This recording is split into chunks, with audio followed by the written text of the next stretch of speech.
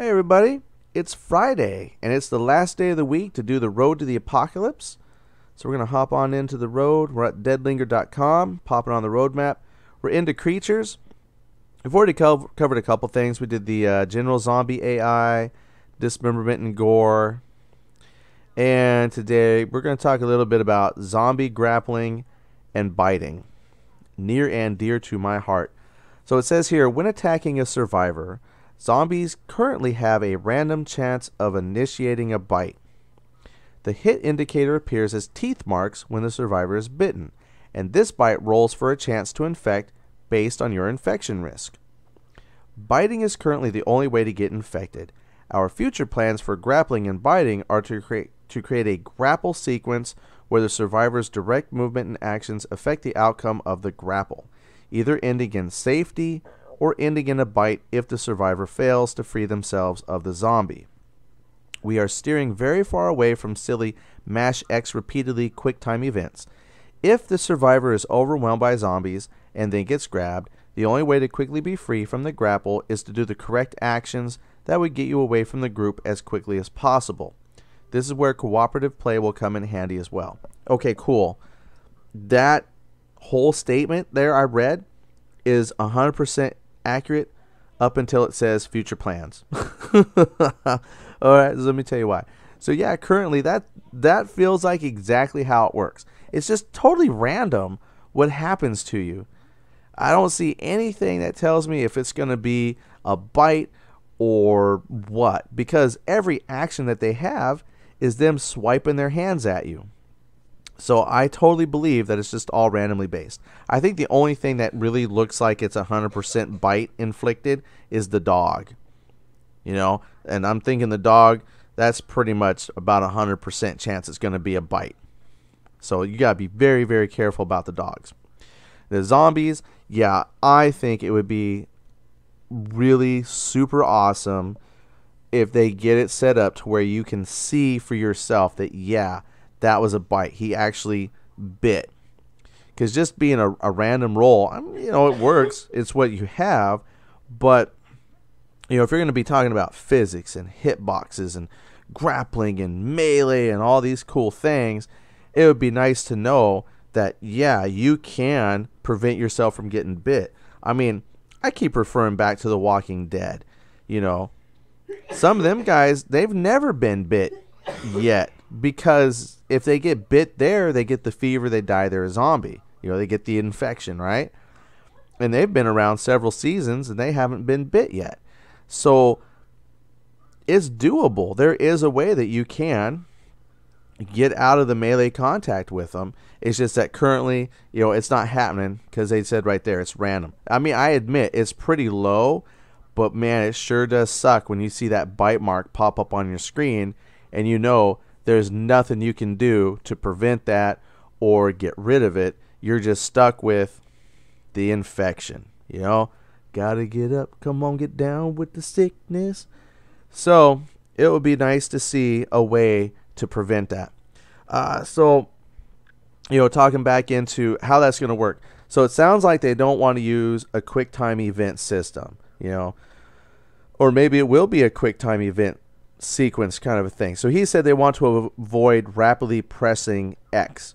So it might come down to a QuickTime system where you might have, since normally your hands kind of rest on your WASD keys for movement, it's very possible that at some point you have to push to the left, push to the right, because you're shaking yourself. You might hit the attack button, you know, hit with your mouse, because that's going to push on the zombie to keep it away. I could see that. I think that that would be fine if they came up with a system like that. But I agree. There shouldn't be anything that's going to cause me to take my hands away from the keyboard from where they're normally comfortable in order to play some little mini game and then quickly have to get my hands back to a position where I can run or maneuver. So I agree with what they say there. They they got to come up with something. So currently it says they're at 20%. Well, that 20% does include what we just talked about the zombie swinging, hitting you, and then having that small percentage chance of that registering as a bite, and then you getting some infection level, and then it checking to see if you actually get infected because your infection level went up. That's there. So now I am ready to see where the rest of that goes to find out exactly how this is going to, uh, you know, plan out. excuse me, plan out for future quick time events. Mm, yeah, it says the only way to get away would be, you know, quickly do your actions to get away. Uh, and with a cooperative play, you know, that would be good too because you know, you might have opportunity with a melee weapon to hit the zombie to knock them off. Okay, that would be fun. Um, or shoot them.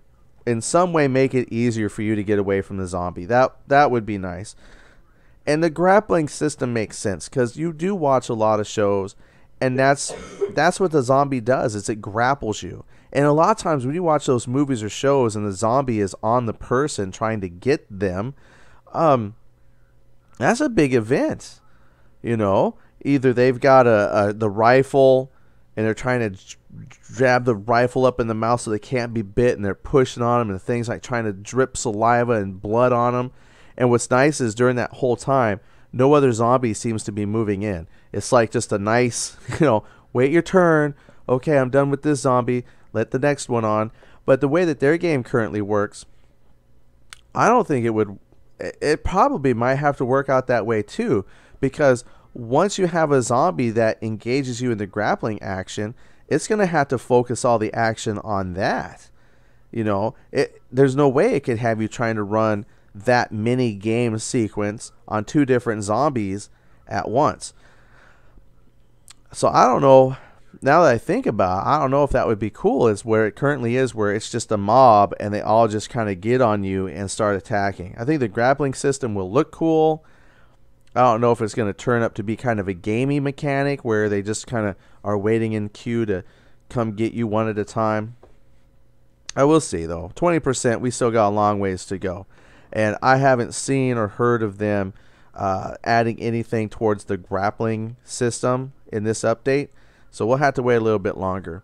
But anyway, that's some uh, thoughts and ideas on the zombie grappling. So if you got any thoughts or comments about zombie grappling and what you want to see as far as that goes, you know, leave some comments. Let's talk about it. Let's talk about that.